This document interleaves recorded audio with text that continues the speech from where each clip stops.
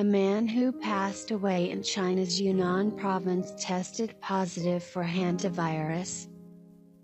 A rare type of virus transmitted from rodents to humans, and news reports about that event raised fears that a new disease outbreak was looming. The reports came in late March 2020. As the world was reeling from the global COVID 19 pandemic caused by the spread of a novel coronavirus. However, a single reported case of hantavirus in China does not an outbreak make, and hantaviruses are hardly new. They go back decades and are not transmitted between humans like COVID 19. Instead, hantaviruses are spread from rodents to humans, and cases are extremely rare.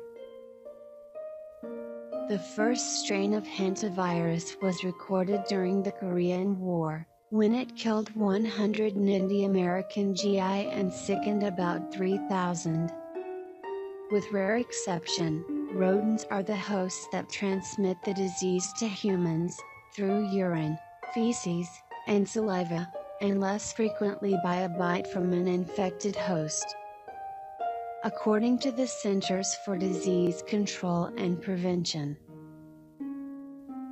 A second type of illness caused by a hantavirus is hemorrhagic fever with renal syndrome. This disease is found mostly in Eastern Asia and Europe, but not in the Americas. Because hantavirus is not new and because it is not transmitted between humans. No one should fear that a new outbreak of disease caused by hantavirus is looming. We therefore rate this claim false.